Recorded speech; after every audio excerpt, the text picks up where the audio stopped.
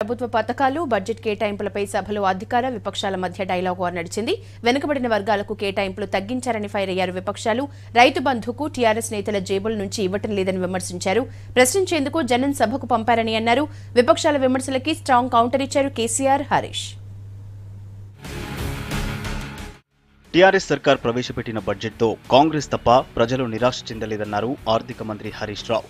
అందరికీ ఆమోదయోగ్యమైన బడ్జెట్ ప్రవేశపెట్టామన్నారు. ఎన్నికల కోసం ఓట్ల కోసం పనిచేసే ప్రభుత్వం తమది కాదన్నారు హరీష్. అసెంబ్లీలో బడ్జెట్పై చర్చ సందర్భంగా విపక్ష నేతల ప్రశ్నలకు సమాధానమిచ్చారు. కాంగ్రెస్ పాలనలో తెలంగాణను నిర్లక్ష్యం చేసిందని విమర్శించారు. వరుస ఎన్నికల ఓటమి తర్వాత కూడా కాంగ్రెస్ నేతలు మారడం లేదన్నారు హరీష్. కాంగ్రెస్ పార్టీ నాయకుల పరిస్థితి ఎట్లా ఉందంటే అధ్యక్ష ఒక్కొక్క నాయకుడు ఒక్కొక్క రకంగా మాట్లాడతారు.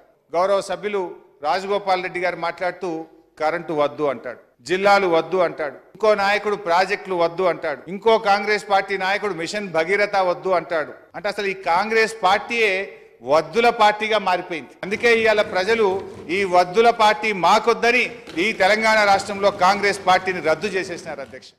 కేంద్రం నుంచి రావాల్సిన బకాయిల్లో ఒక్క రూపాయి కూడా ఇవ్వలేదంటూ మండిపడ్డారు హరీష్ రావు. ఈ ఆర్థిక సంవత్సరం రావాల్సిన జీఎస్టీ బకాయిలు తొమ్మిది వందల ముప్పై మూడు కోట్లున్నాయని అలాగే ఐజీఎస్టీ బకాయిలో రెండు వేల ఎనిమిది వందల పన్నెండు కోట్లు రావాలన్నారు హరీష్. మనకు రావాల్సిన ట్యాక్స్ బకాయిలు ఇవ్వమంటే అప్పు తెచ్చుకోండంటూ కేంద్రం ఉచిత సలహా పడేసిందని మండిపడ్డారు. ఈ ఆర్థిక సంవత్సరంలో జీఎస్టీలో తొమ్మిది వందల ముప్పై మూడు కోట్ల రూపాయలు కేంద్రం నుంచి రావాలి. ఐజీఎస్టీలో రెండు వేల ఎనిమిది వందల పన్నెండు కోట్ల రూపాయలు రావాలి. మేము అడగడమే కాదు నీతి ఆయోగ్ సిఫార్సు చేసింది. చౌబీస్ హజార్ కరోడ్ రూపాయ తెలంగాణకు దేనే బోలే? లేకిన్ చౌబీస్ పైసా భీ కేంద్రకి సర్కార్ నహి దియే హే. మాకు ఇవ్వాల్సిన ఇవ్వలేదు ట్యాక్స్ డెవల్యూషన్ ఇవ్వలేదంటే అప్పు తెచ్చుకోండి అని ఒక ఉచిత సలహా ఓ పర్మిషన్ ఇచ్చేసింది.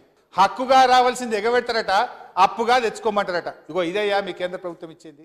బీజేపీకి లేకలేక అధికారం ఇస్తే దుర్వినియోగం చేస్తోందన్నారు సీఎం కేసీఆర్. రాజ్యాంగం ప్రకారం ఇవ్వాల్సినవే తెలంగాణకు కేంద్రం ఇచ్చిందన్నారు. జీఎస్టీతో కలిగే నష్టాన్ని ఐదేళ్ళు కేంద్రమే భరించాలన్నారు. రాష్ట్రానికి కేంద్రం అదనంగా ఇచ్చిందేమీ లేదన్నారు. బీజేపీ నేతలు భ్రమలో బతుకుతున్నారని అన్నారు కేసీఆర్.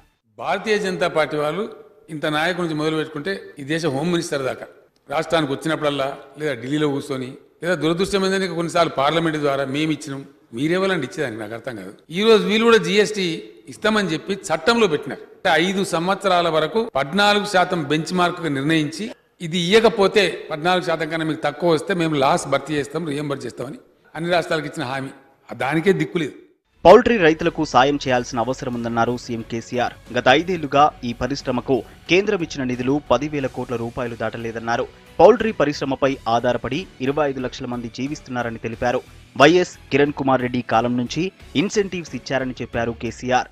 పౌల్ట్రీ రైతాంగం మనకంటే మన పొరుగు రాష్ట్రాలు చాలా ఎక్కువ ఇన్సెంటివ్స్ ఇస్తాయి అధ్యక్ష. మన రైతులు అనేక మంది వందల మంది రైతులు మహారాష్ట్రలో పోల్ట్రీ ఫార్మ్స్ పెట్టి ఏం కారణం ఇది? అంటే మనకు రాయితీలు తక్కువనే అని చెప్తే కాంగ్రెస్ ప్రభుత్వ హయాంలోనే రాయితీలు ఇవ్వడం కొంత ప్రారంభించింది కానీ పూర్తిగా కడుపు నిండా ఇవ్వలే. ఇరవై ఇరవై ఐదు లక్షల మంది డైరెక్ట్ ఇండైరెక్ట్ కలిపి దాంట్లో బతుకుతున్నారు అధ్యక్ష. One of the largest industry ఆ ఇండస్ట్రీని కాపాడే బాధ్యత మన మీద ఉంటుంది దానికి సబ్సిడీ ఇచ్చే బాధ్యత మన మీద ఉంటుంది. తప్పకుండా ఎప్పుడైనా ఇవ్వాల్సి వస్తే వాళ్ళకు రెండు వందల కోట్లు మూడు వందల కోట్లు పోతే పోతే అధ్యక్ష we don't mind to save poultry industry దాన్ని కూడా దృష్టిలో పెట్టుకుని దాని కుంభకోణం లంబకోణం. ఈ కుంభకోణం మక్కలు తింటాడా అధ్యక్ష? బుద్ధి తక్కువ. ఆ కోల దానా? ఇదే సమయంలో మరోసారి బట్టి ఈటల మధ్య మక్కలపై డైలాగ్ వార్ నడిచింది. ప్రభుత్వం పౌల్ట్రీ ఫెడరేషన్కు ఇచ్చిన మక్కలు పక్కదారి పట్టాయని ఆరోపించారు మల్లు బట్టి విక్రమార్క. ఫెడరేషన్లోని పెద్దలు మక్కలు కాజేశారని రైతులకు మక్కలు వెళ్ళలేదని విమర్శించారు. దీనికి కౌంటర్ ఇచ్చారు మంత్రి ఈటల రాజేందర్. ప్రభుత్వము పోల్ట్రీ ఫెడరేషన్కి ఇస్తే ఆ ఫెడరేషన్లో ఉన్న పెద్దలు దీన్ని కాజేశారు ఆ రైతులకు ఇవ్వలేదు. మీ పార్టీలో ఉన్న పెద్దలు చిల్లర పనులు చేస్తా ఉన్నారు. మీరు చెప్పింది అంత తప్పు శుద్ధ తప్పు. మీకు అవగాహన లేదు దీని పట్ల.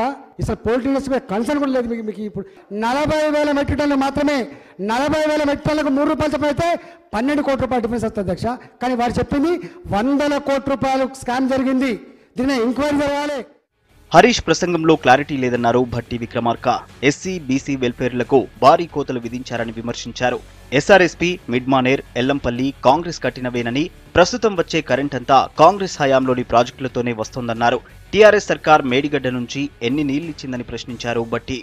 వారేమన్నారు? ఇరిగేషన్ గురించి మీరు ఏమైనా కట్టారా అన్నారు. మీరు కట్టింది ఏంది అసలు ఇప్పుడు? కాళేశ్వరం కాళేశ్వరం అని చాలా గొప్పగా చెప్తా ఉన్నారు. కాళేశ్వరం పేరు మీద పారిచ్చే నీళ్ళు శ్రీపాద ఎల్లంపల్లి మేం కట్టిందే. ఆ పైన ఎస్ఆర్ఎస్పి మేం కట్టిందే.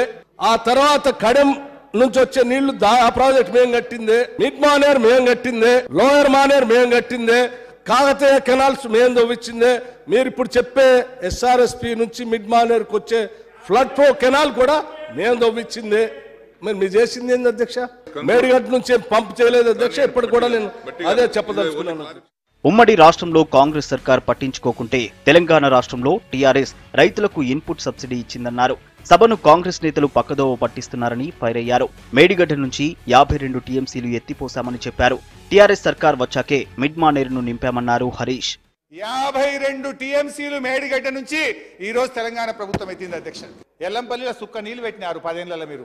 మిడ్ మానేర్ పూర్తి చేసిన అంటాడు సార్. అయ్యా తొమ్మిదేండ్లు అధికారంలో ఉండి మిడ్ మానేర్లో ముప్పై మూడు శాతం పనులు చేయలే. ఎస్ఆర్ఎస్ మేము కట్టి నీళ్ళు పోయినాయా టేలెండ్కు అయ్యా మీ ప్రాజెక్టుల తుమ్మలు మొలిసినాయి సర్కార్ తుమ్మలు మొలిసినాయి ఆనాడు తుమ్మలు మొలిసిన కాలువల్లో నేడు నిండుగా నీరు ప్రవహిస్తా ఉంది. హరీష్ ప్రసంగం తర్వాత సభను రేపటికి వాయిదా వేశారు స్పీకర్ పోచారం శ్రీనివాసరెడ్డి.